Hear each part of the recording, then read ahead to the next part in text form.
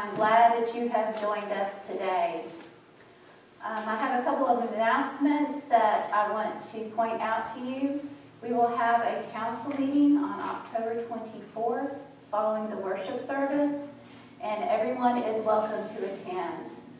Also, I want to point out that on October 31st, we will celebrate All Saints Sunday. And if you have lost someone special to you over this past year that you would like to include in the video that I'm going to put together for that service, um, of saints that we have lost, just let me know.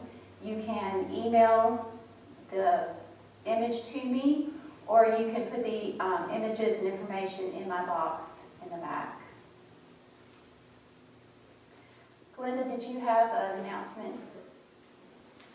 Um, in the back on the table, you'll see a towel and washcloth. And many of you know about UMCOR, United Methodist Committee on Relief, and they are an arm of United Methodist and uh, the church, and they are disaster areas, whether it's in West Tennessee, Southwest Virginia, or across the world. And several of us have been to Sager Brown, which is a depot where they collect things in Baldwin, Alabama, Louisiana. And they collect everything from hygiene kits to layette to school kits to cleaning buckets. Well, an, uh, an appeal has gone out from our conference office that because of all the flooding and things in this area, they were having a shortage of buckets, cleaning buckets, and hygiene kits. Um, we put together a cleaning bucket, and those are kind of tedious to find the things to go in, but a hygiene kit is very easy. And so on the back table, I've got what goes in that hygiene kit, and Jennifer has printed off the list of what goes in there. Uh, you roll the, it's toothbrush, a comb, uh, nail clippers, 10 band-aids, a bar of soap, a washcloth, and a hand towel. We roll it up and put it in a one-gallon Ziploc bag, and then um, it goes. So we have to, they're asking, this appeal goes through October 31st, so I'm asking you all to please, please, take a sheet and be willing to put together a, a hygiene kit and uh, we'll take care of getting it where it needs to go. It talks about an extra $2. Toothpaste doesn't expire for us, but toothpaste has an expiration date. So they buy the toothpaste and put it in the kit. So the $2 helps to buy that and then for shipping. So please, please, I encourage you to go out and hand towel, not a bath towel, and get these and just put them on the back table and I'll get them where they need to go. If you would also like to make a special donation to UMCOR, uh, Jennifer's put the address in the green sheet before, you can see us, or put it on a memo line, and uh, Linda will make sure it goes where it needs to go. But and put disaster relief. But I, I really, this is really easier than putting together the food buckets that we do every year too. So please, please be generous in putting together some hygiene kits. Thank you, Glenda. Also, just to reiterate that um, a check in, in the memo going to UMCOR may be the easiest way for you to help, and money is always good because there's always things that come up that people don't realize might need to be covered. Maybe their prescription washed away in the flood and they need to um, obtain more medication. So that you just never know exactly what all the needs are. So don't feel guilty if all you can do is just donate some money because money is a huge help as well. Now let us turn our hearts to worship with our opening invocation, which can be found in your bulletin or on the screen. We have had a hard week at home, school, work, and even in our communities. And we come this day looking for refuge. All week long, we have longed to be in your presence. When we come forward, you seemed not to be there.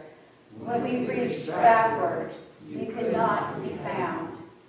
We looked to the left, but we could not see your face. We even grouped right, but because of the darkness all around us, we could not see you. In our time of worship together with you, O Lord, we seek the power of your presence. Amen. The centering moment is do what you want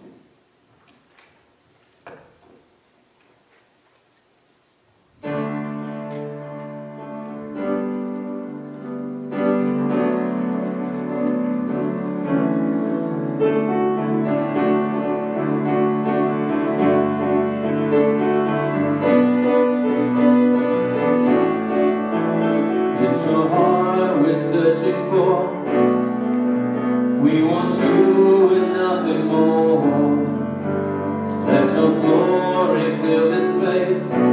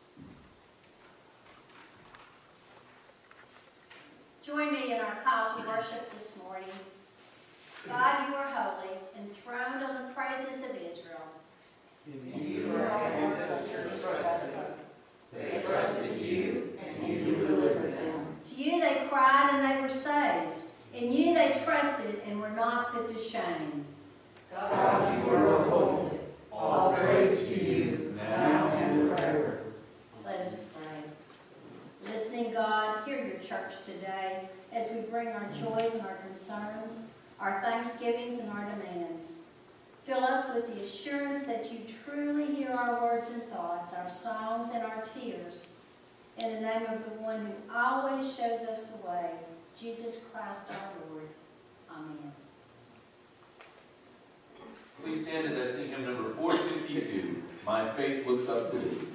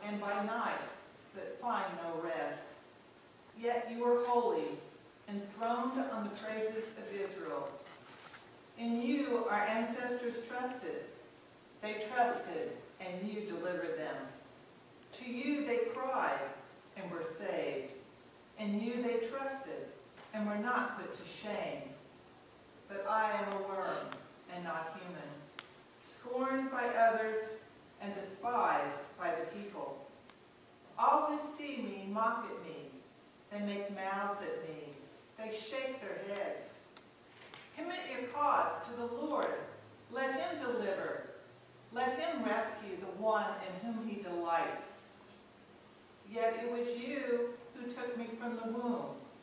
You kept me safe on my mother's breast. On you I was cast from my birth, and since my mother bore me, you have been my God. Do not be far from me, for trouble is near, and there is no one to help. Many bulls encircle me, strong bulls of Bashan surround me. They open wide their mouths at me, like a ravening and roaring lion. I am poured out like water, and all my bones are out of joint. My heart is like wax. It is melted within my breast. My mouth is dried up like a potsherd, and my tongue sticks to my jaws.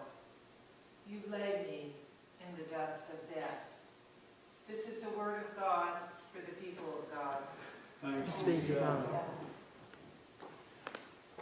Please stand as I sing hymn number 474, Precious Lord, Take My Hand.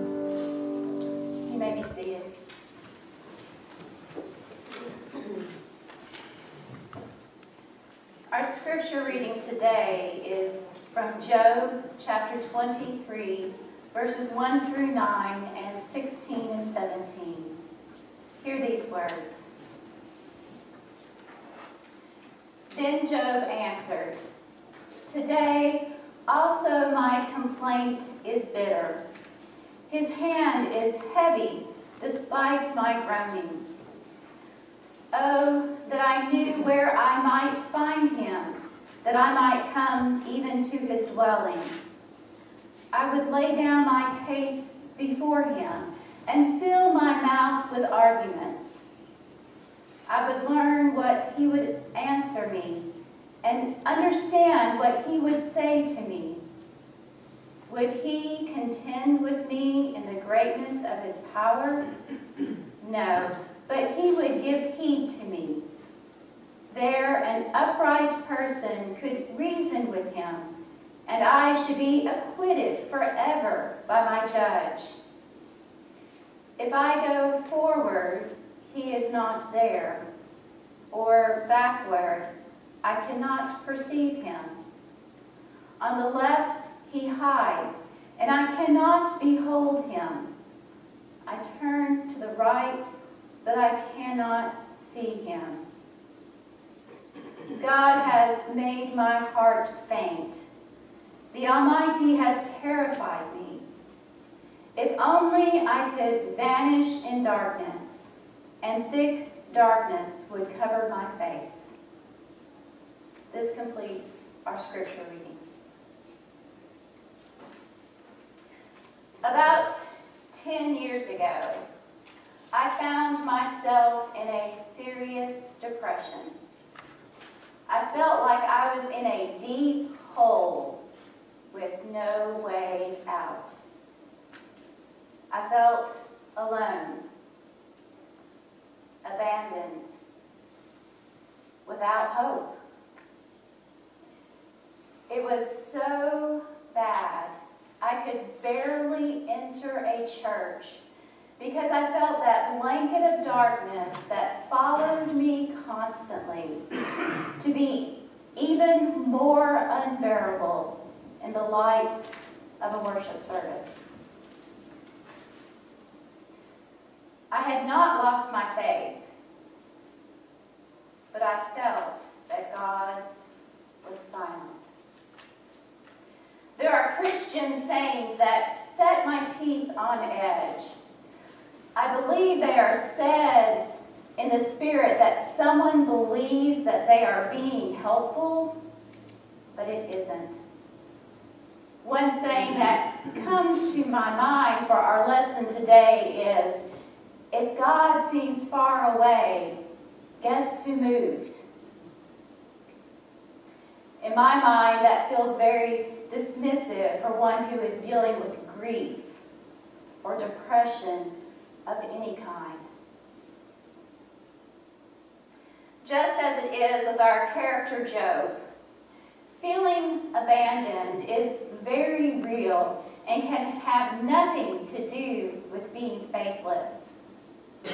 The sense of being abandoned by God, sometimes coined the dark night of the soul, has been experienced by many good and faithful Christians. The term dark night of the soul came from a poem written by Saint John of the Cross in the mid 14th century.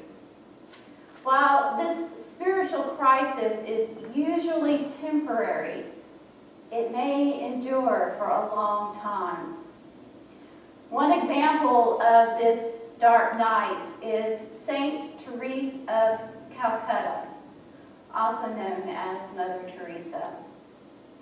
Her example may be the most extreme case recorded, having endured from 1948 almost until her death in 1997, with only brief interludes of relief according to her letters. Even John Wesley wrote about his struggles in his letter to his friends.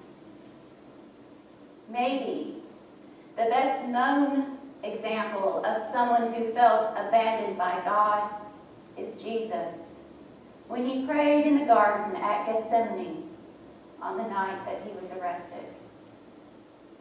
So, if you, like me, have had hard times and moments of deep despair, we are in good company. If you believe that you are doing all that you can do to reach out to God but feel met with no response, we are in good company. John Goldingay wrote in his commentary on the 23rd chapter of Job something that resonated with me. He writes, Job knows that God moved, and he does not know why. We always have to remind ourselves that the Old Testament understanding of God's presence and absence is different from the Western one. We are preoccupied with a sense of God's presence. Often the evidence for us that God is here is that we have a feeling that God is here. And the evidence of God's absence is the lack of such a feeling.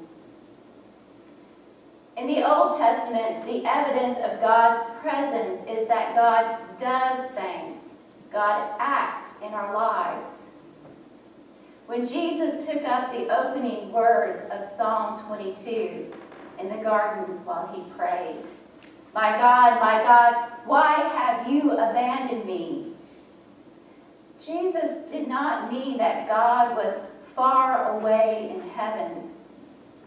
God was present, watching Jesus be crucified, suffering as really as Jesus was, but doing nothing about the fact that Jesus was being executed.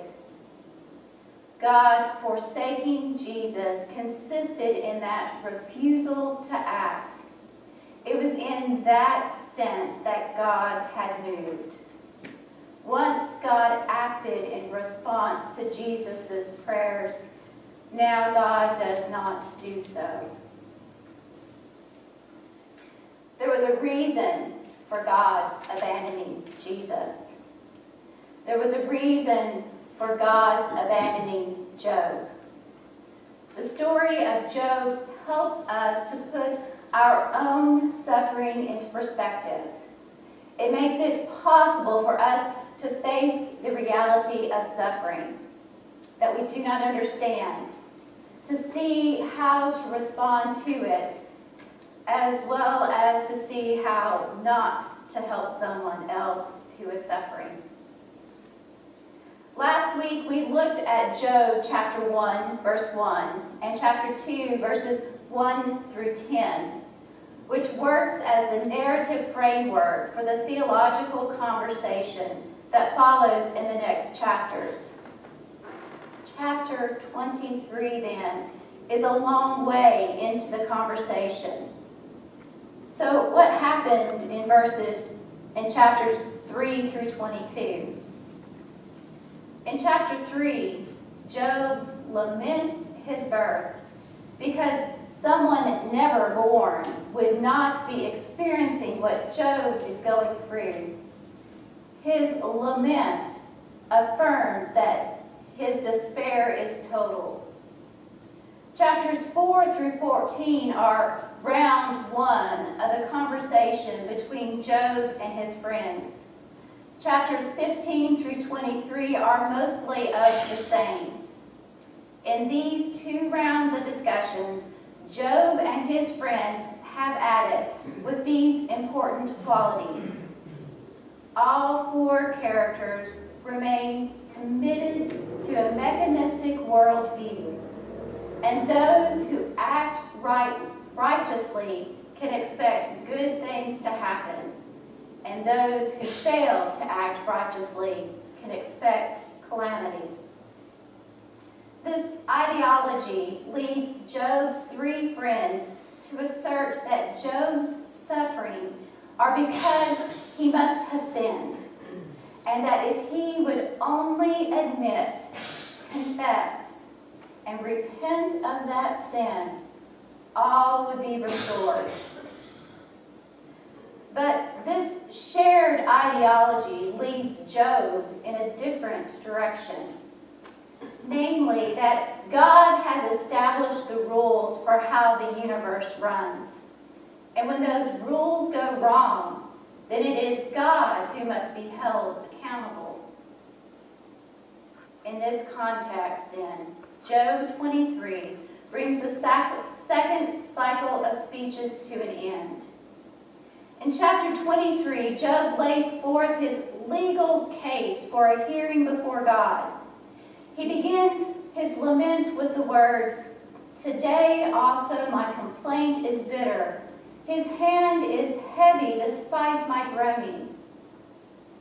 In verses 3 and set through 7, Job laments his inability to lay his case out before God. Job's desperate cry for a hearing is completely understandable. Imagine coming to work one day only to be greeted by security guards who tell you you have 10 minutes to clean out your workspace and vacate the premises. You would want to know why.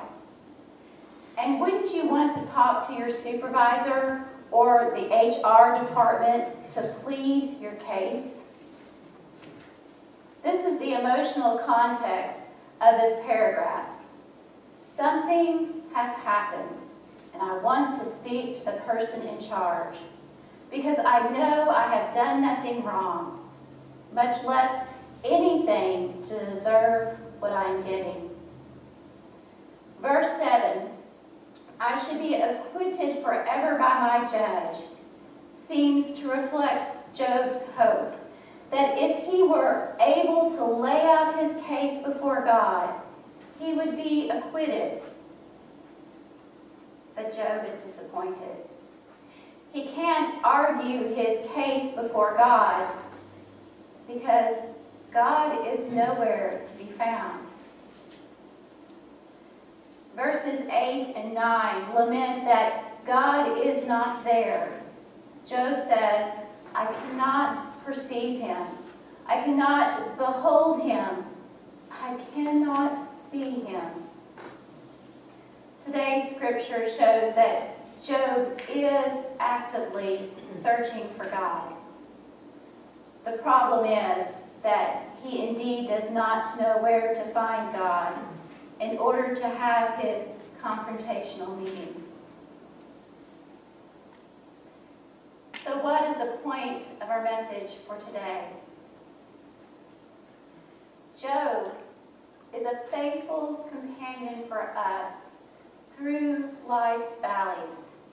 Because Job knows that life with God does not give us easy answers. Job knows that God is powerful over all things. And so he can complain to God about what he thinks God has allowed to happen. Job also knows that he has been faithful to God. And he believes that God will vindicate him if given the chance. That God is nowhere to be found.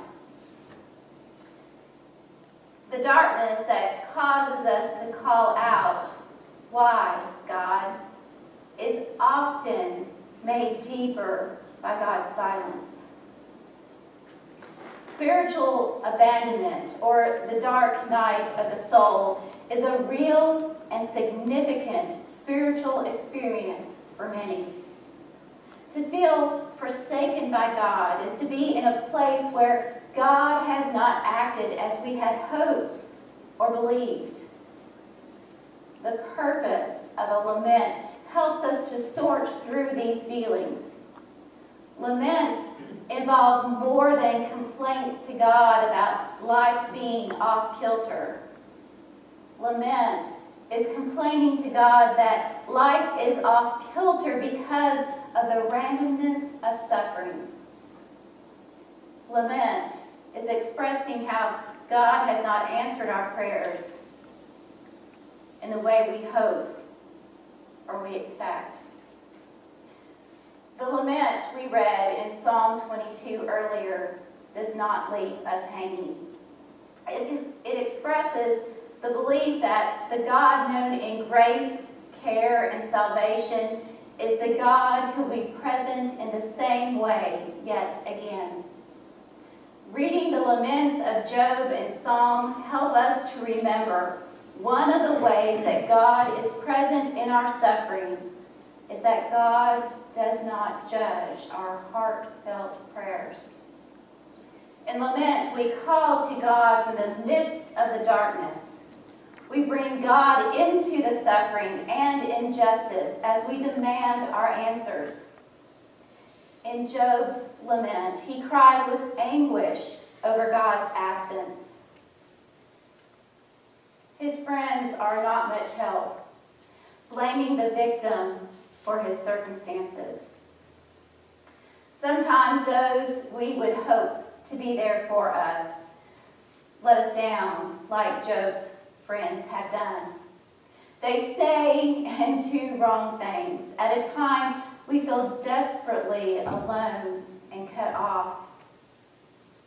In the final verses of chapter 23, Job's heart grows faint as God the Almighty terrifies him. What follows in verse 17 proves critical to our understanding of the chapter. The New International Version, however, provides a better reading of the Hebrew text. It says, Yet I am not silenced by the darkness by the thick darkness that covers my face. Rather than a resignation to death, Job concludes the chapter with a voice of resistance. Job refuses to concede the claims of his friends or the apparent injustice of God. Chapter 3 leaves us hanging. The chapter ends just as it began in tension. But the text does suggest that the resolution to the tension will be found in relationship, a relationship expressed in presence. Job has been visited by friends who want to be supportive, but have left much to be desired. All Job can think was that their words added to the quickly mounting body of evidence that God had checked out, gone away, just when God, just when Job needed God the most. But on the other hand, there is something to be said for not being alone. Even if the person with you can't seem to find the right words or comfort to help in the least. We are human and we let each other down all the time. But we also offer something else, something so wonderful and valuable for the darkest times when it seems that God hides. We offer each other a tangible experience of the divine. As Job will discover in chapter 38 through 42, an encounter with the divine does not result in vindication, but rather an awareness of the awesomeness of God. But until that realization comes, we wait in faith. We hold on to the truth that although we may not feel God's presence, God still walks with us through the darkness. We have been called to lament today by Job in Psalm 22. We cry out to God in times of distress because we know that God will hear. Moreover, Jesus, who ensures we will be heard, himself has spoken the words of lament that we read in Psalm 22 and has been answered by God through the resurrection from the dead. Lament is a great act of faith. It is a prayer to God, who we can believe and will act because this God gives life to the dead. Let us pray.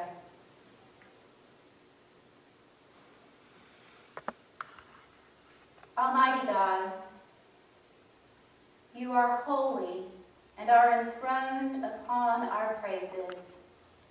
In every time and place, you have heard our cries.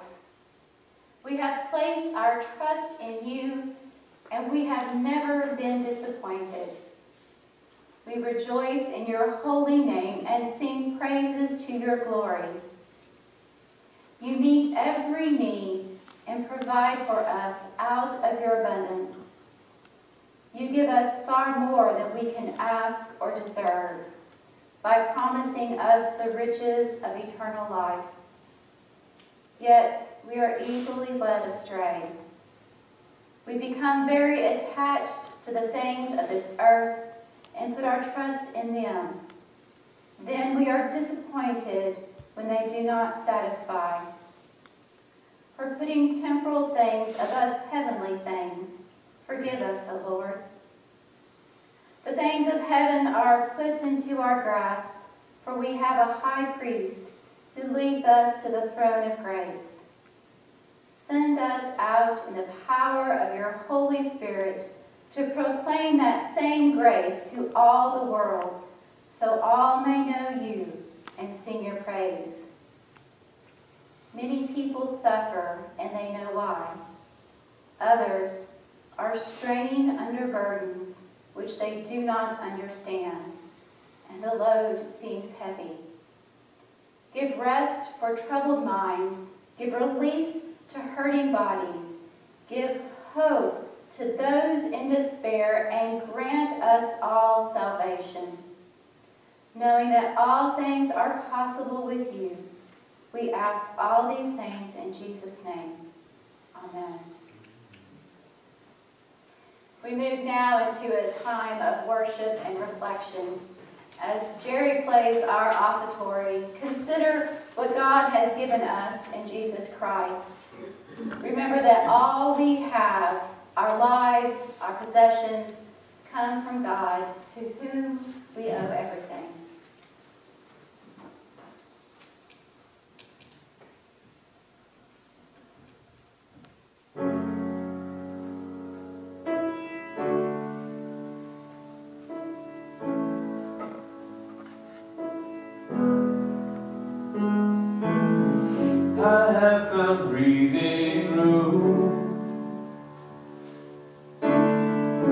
my soul can rest in you.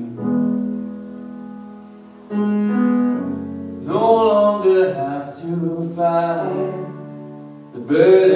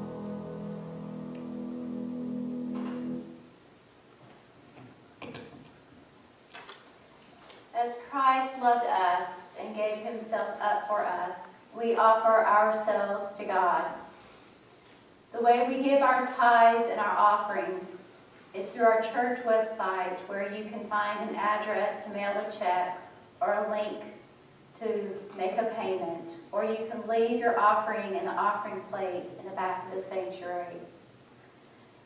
Now let us bless the gifts we give back to God. Let us pray. Gracious God, we present these gifts and renew our commitment to leave everything behind and follow you. Give us the courage to fulfill your way so that with everything we do and say, we can become a living offering worthy of being called your disciples. Amen.